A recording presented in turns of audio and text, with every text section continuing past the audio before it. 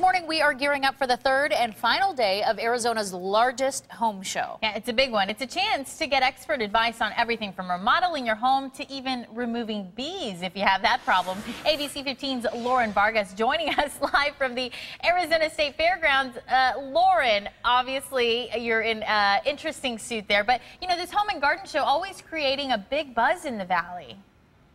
Ladies, you don't have to tell me. I know I look fabulous. I'm wearing this bee protection suit, and I am with the AZ Queen Bee herself, Emily Brown. Tell me what I'm wearing and why.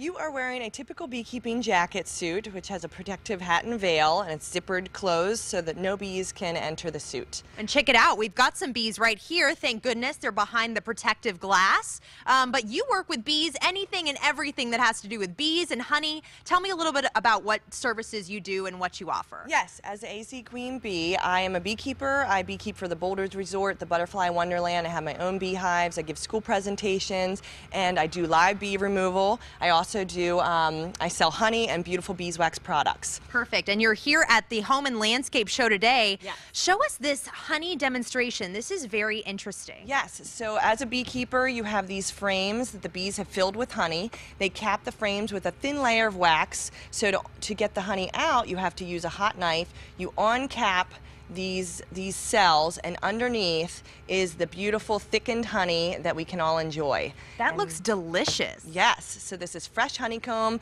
Come down to the fairgrounds today to have a sample and to see the honeybees. And you also remove bees if people have a bee problem. Tell me a little bit about that. Yes, so uh, there's thousands of swarms that move around the valley and you should seek professional help for removal. So I have a live bee vacuum system. I use that to uh, lively, you know, remove the bees and move them to another location as quickly as possible.